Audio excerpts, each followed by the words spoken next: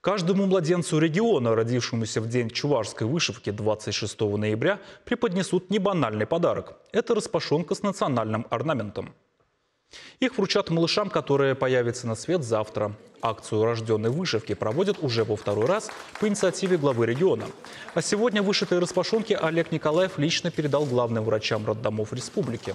На одежде для новорожденных вышиты символы, обозначающие детство, талант и успех, жизни, мире и согласие.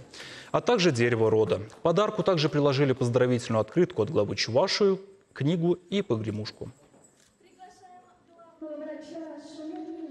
Учитывая, что эти распашонки вышивают мастерицы, естественно, придерживаясь старинных традиций, и вышивают, а, можно сказать, рунические знаки, которые а, также несут такую энергию, древнюю энергию пожелания счастья, а, мудрости и других очень важных жизненных составляющих. Естественно, наши дети, которые рождаются завтра в день вышивки, они уже с рождения можно сказать, будут находиться под защитой предков, древних предков. Это вот очень здорово, на мой взгляд.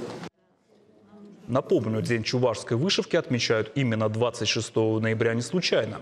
В этот день родилась известная советская художество, художница по вышивке Екатерина Ефремова, сумевшая сохранить традиции ручной вышивки на предприятиях художественных промыслов региона. 26 ноября свой 65-й день рождения отметит мастер народных художественных промыслов Любовь Вазюкова. В честь этого и открылась выставка, которую сегодня посетил глава Чувашии. Олег Николаев отметил, что Любовь Степанова внесла огромный вклад в развитие национальной культуры.